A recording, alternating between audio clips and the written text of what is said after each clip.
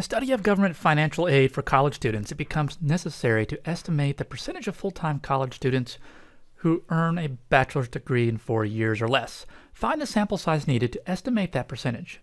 Use a 0.03 margin of error and use a confidence level of 99%. Complete parts A through C below. Okay, there's a formula way to do this. If you go in here and click on View an Example, i have not done this yet. Yes, this is exactly what they do. So you can go through that on your own, and if you're one that likes to do things with formulas, you go for that. I'm going to show you, however, how to do this using StatCrunch. So when we open up StatCrunch, I'm going to go over here to Stat. We're talking about proportions. It's one sample, and we're going to look at the width sample size.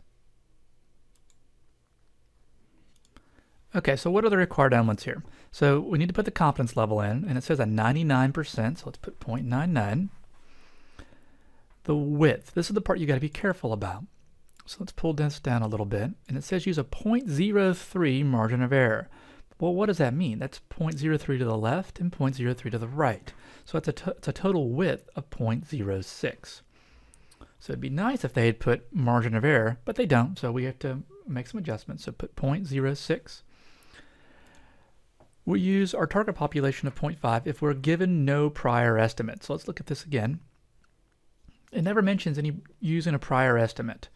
If you use a prior estimate, that can and will um, decrease the sample size, which is nice because it costs money and time and effort to um, gain samples. So if you have a prior estimate, you definitely want to use it. We don't, so we're just going to leave it at 0.5 and then press compute. And I want to make sure you see that. We're at sample size of 1844. So let's look at part B. Assume prior studies have shown that about 40% of full-time students earn bachelor's degrees in four years or less. So now we have a prior estimate. And so that's what that target proportion is. I'm going to change that 0.5 to a 0.4. It automatically adjusts my width, so I'm going to go back to the width and put 0.06 again and press compute. And I get 1770. I noticed that my width decreased a little bit, so technically I would need 1771 to get over that width.